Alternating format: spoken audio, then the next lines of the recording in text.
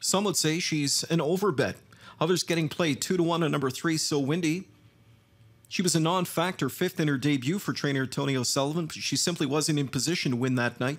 Chris Christoforou got her in position last time out, though. She was a driving away winner by two lengths. She's got a good post to work with here tonight. Expect a similar trip, hopefully, a similar end result.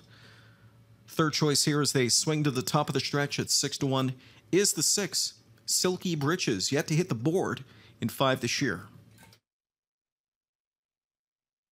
Seventh race picks up speed.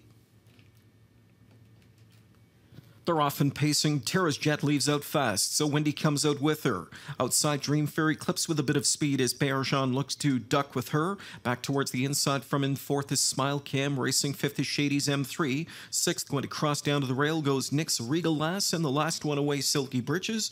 They motor to the quarter pole. Tara's jet is on the lead. Pocket sitting so windy. Tucked in third went Dream Fairy clips, and racing off in fourth is Smile Cam. 28 3 that first panel. Shady's M3 is racing along from in fifth now. Sixth, Nick's Regal Lass. Trailing Silky Britches, the group of seven heading into the backstretch, and they'll do so in a line. Tara's Jet fronts them from McNair, length and a half on top now. So windy to the pocket spot. Dream Fairy Clips is right there from in third. Then racing fourth is Smile Cam, and Saftic guns her first over as the field marches up to the midway point here. Tara's Jet controls the tempo here. She's up front by two and a half lengths now. So windy back in second, gapping into a 58 second first half tempo. Outside from in third is Smile Cam.